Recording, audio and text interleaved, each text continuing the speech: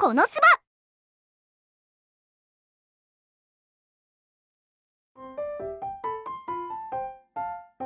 今日はよろしく頼む。まったく。私たちがお試し採用だなんて。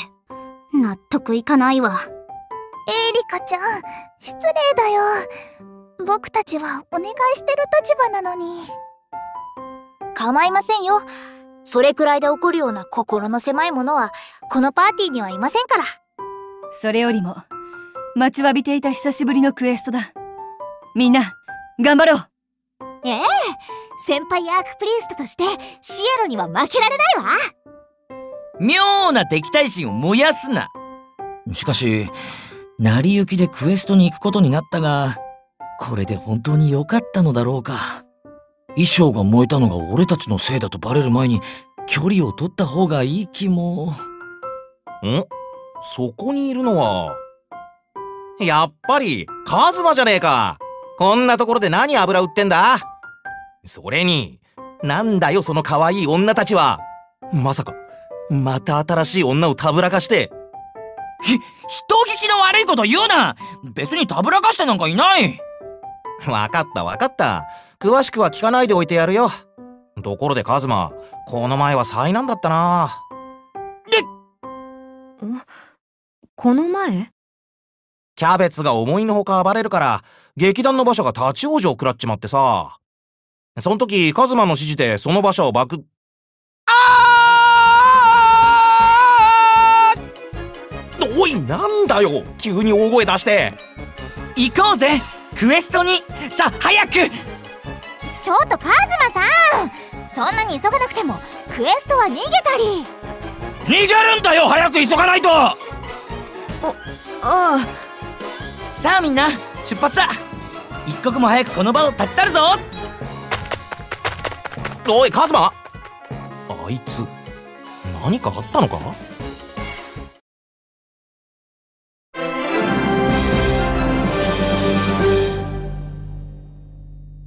アダマンタイトって武具の生成に使うんだよな。その通りだ。私の鎧にも少量だが含まれているぞ。かなりの高度を誇るから加工は至難の技だがな。カズマは家事スキルがあるし鍛冶屋に持っていかなくても自分で加工できるかもしれないわね。ねえそんなことどうでもいいから。ちょっと休憩しない？何言ってんだ。さっき休んだばっかりだろ。そんなこと言わずにさ。ね？お願い。可愛いこぶってもダメなもんはダメだ。可愛い？今私のこと可愛いって言った？ああカズマってば正直なんだから。いいわ。私もうちょっとだけ頑張っちゃう。だからもう一回言ってこいつめんどくせえ。可愛いと言われて喜ぶなどナンセンスですね。可愛いよりもかっこいい方が重要です。そんなことないわよ。可愛い方が大事。可愛い可愛い可愛い可愛い可愛い可愛い可愛い。かっこいいかっこいいかっこいいかっこいいかっこいいかっこいい。えっとあの二人とも落ち着いて。ダンジョンは罠もあるんだしもっと慎重に可愛い可愛いかんなんか踏んだような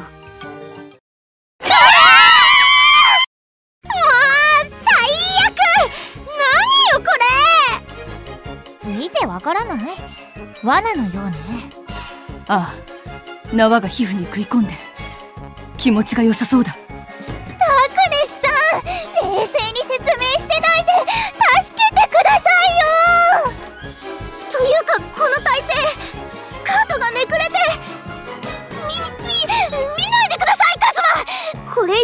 なら爆裂魔法を放ちますよ。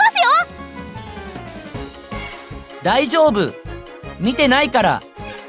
本当はバッチリ見てるけども。素晴らしい光景だ。罠にかかってくれてありがとう。聞きなさいあなたたち。何を隠そうこの私も。かつてはたくさんの罠に引っかかったわ。でもその度に成長してきたの。だからあなたたちが罠にかかっても恥ずかしがることはないわ。誇りを持つのよ。うーわこいつこのタイミングで先輩風吹かせ始めやがった。はあエーリカは罠感知のスキルを持ってるはずだろ久々のクエストだから忘れてたわ。次からはちゃんと使わないと。おっとごめんなさい。俺も持ってるけど使うの忘れてました。だが。おおいカズマ。何を突っ立っているんだ早く助けてやった方がいいと思うが。カズマ？聞いてるの？おーいカズマさスカートがスカートがめくれて。ちょっと暴れないで。縄が体に食い込んで。いい光景だ。エーリカのファインプレーだなしばらく罠感知スキルは使わないでおこう。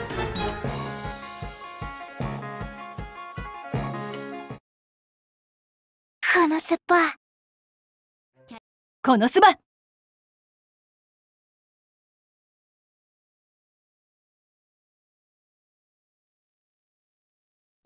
ました。これアダマンタイトですよね。間違いない。これで規定数に達したんじゃないか初クエスト。達成だな。このパーティーなら最終クエストなんて楽勝ね。ああ途中現れたモンスターもリアたちがほとんど片付けたし高難易度クエストも受けられそうだな。ええ心強いです。惜しむべきは途中で罠にかかってひどい目に遭わされたことだけでしょうか。あれはちょっとした油断ででも実力は分かってくれただろああ試すような真似して悪かったな。これからもよろしく頼む。この先もクエストを一緒に受ける契約成立ね。女神アクアがその契約の承認となりましょ女神？えー気にするな。こいつは時々残念な発言が出てしまうんだ。ところでリアはどこで槍を習得したんだ？かなりの腕前だがそのような槍の方は見たことがない。えっ、とどこなんだろう。なんとなく使ってるだけだから。自己流なのか？だとしたらなおのこと素晴らしい。その若さで大したものだ。リアの槍だけでなくエーリカのスピードもシエロの回復魔法もかなり役に立ちましたね。うふん。当然よ。私は見た目だけじゃないんだから。恐縮です。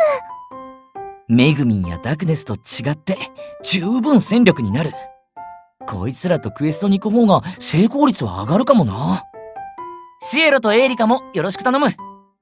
契約代わりの握手だ。待って。シエロは男に触られると。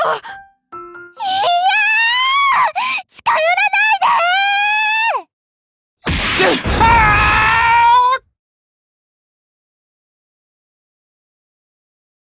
ごめん。シエロは男性恐怖症で触られると思わず手が出ちゃうの。思わずという割にはしっかりと腰の入った動きでしたね。その通りだ。普通のやつかと思って油断していたな。やはりどこかに欠点を抱えるポンコツだったか。あこれは。武術の心得があるのか。人体の急所を的確に刺激してなかなかに気持ちよさそうだ。本当にごめんななあ気にするな。治療費と迷惑料は報酬からちゃんと引いておくから。それよりもこれを見てくれ。吹っ飛ばされた時に見つけたんだけど。綺麗な石じゃない。はあ覗く角度によって色が変わるみたいね。かなり上物の鉱石じゃないかしら。これはまさかアレキサンドライトの原石か。貴重なものなの？装飾品として重宝され貴族にも愛されている。この大きさだと1個400万エリスはくだらないな。よ400万エリ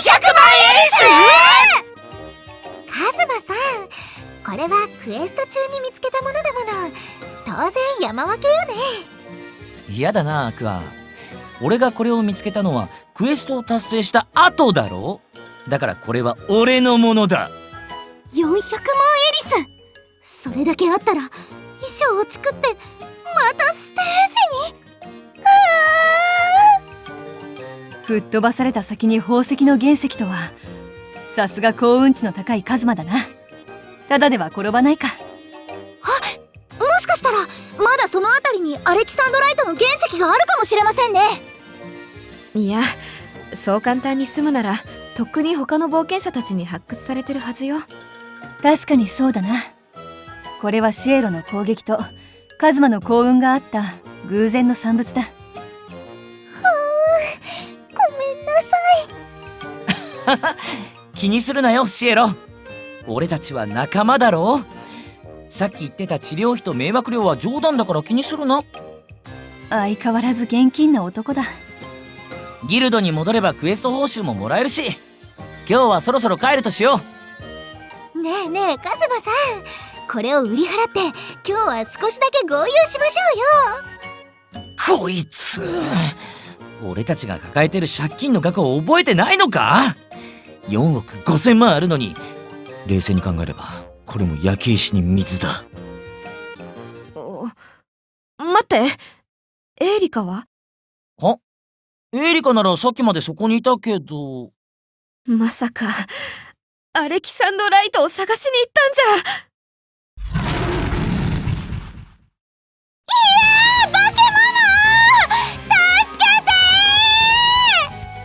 今の声エリカちゃん？奥の方からだ。急ごう。たくエリカのやつ。罠にかかっただけじゃなくトラブルも起こしやがって。行くぞみんな。あいつを助けるんだ。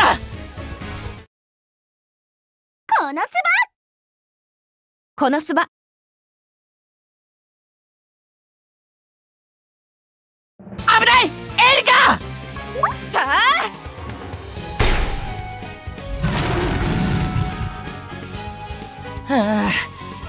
かなったか。大丈夫か？エリカ。バ別に助けてなんて言ってないわよ。このバカ！おいおいいきなりビンタなんて。エーリカどうして一人で先に行ったの？アレキサンドライトが欲しかったの。400万エリスあればショーができるじゃない。だからって危険な真似して死んだらどうするんだ？両親に会えなくなるぞ。ねえねえなんだか深い理由がありそうなんですけど。私たちが立ち入ってもいいものかどうか。隠してるわけではないんですがエリカちゃんは施設育ちで両親に会ったことがないんです。可愛くなれば両親が迎えに来てくれるって思ってるみたいで踊り子をしてるのも両親に見つけてもらうために。なるほど。それでやたらと可愛いって言葉に過剰反応してたのか。エリカちゃん？リアちゃんはエリカちゃんが大切だから怒ってるんだよ。そんなの言われなくても分かってるもん。じゃあどうするの？悪いことしたと思ったらごめんなさいだよ。ごめんなさい。それと助けてくれてありがとう。分かってくれたらいい。でもこの先も無茶だけは絶対にするな。私たちは3人で一組の踊り子なんだからみんなでステージに立ち続けよう。ごめん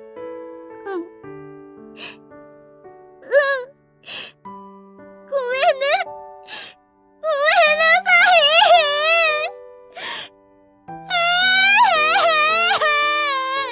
い。ごめんねリア。ごめんねシ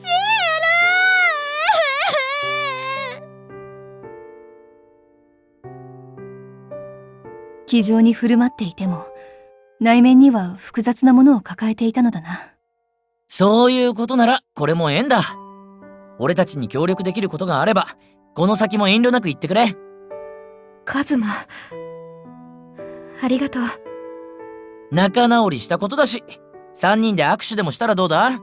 ほら手を取り合って。カズマだからシエロは男に触られると。いやうー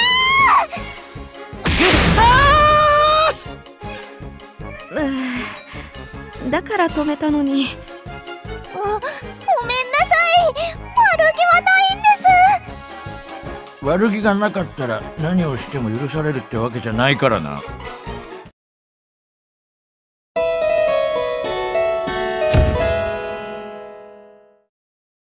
このスバ。結果今回のクエストの報酬とアレキサンドライトの原石の利益は俺たちとリアたちで当分することにした。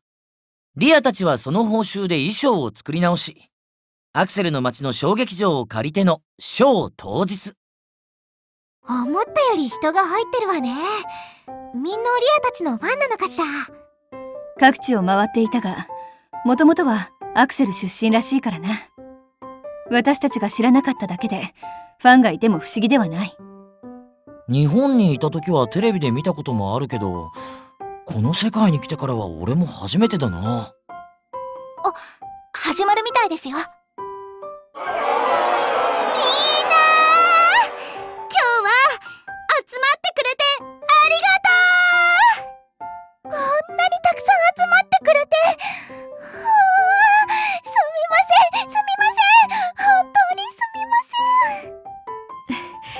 そんなに謝らなくていいって。久しぶりのショーだから改めて自己紹介を。私たちは3人組踊り子ユニットアクセル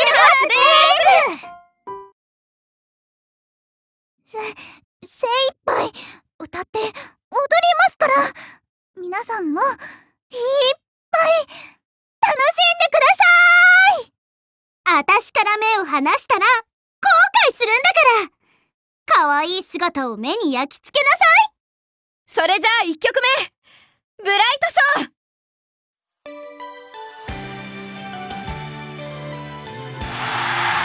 あの子たちなかなかやるじゃない。見る者を熱狂させていますね。我が爆裂魔法には及びませんが。ああ。格式を重んじる宮廷舞踊とは違い生命力にあふれた歌と踊りだ。こういう音楽もいいものだな。この世界ではあまり聞き慣れない軽快なサウンド。まるで日本のアイドルのような。アイドル？コスモ難しい顔をしているがどうした？もしかして借金のことを思い返していたのか？違う。見つけた。見つけたぞ！見つけた？あいつらはアイドルだ。そして金のなる木だ。歌もダンスも磨けばもっと光る。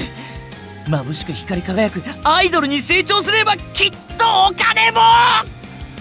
アイドル？熱狂的なファンを持ってて素敵なパフォーマンスをする人のことよ。決めた。俺はあの3人をプロデュースする。もっとでかい場所でショーをしてグッズも作ってアイドルビジネスで借金を返済だ新たな道に足を踏み入れたか。俺は新たな伝説の誕生の瞬間に立ち会っているのかもな。このスバ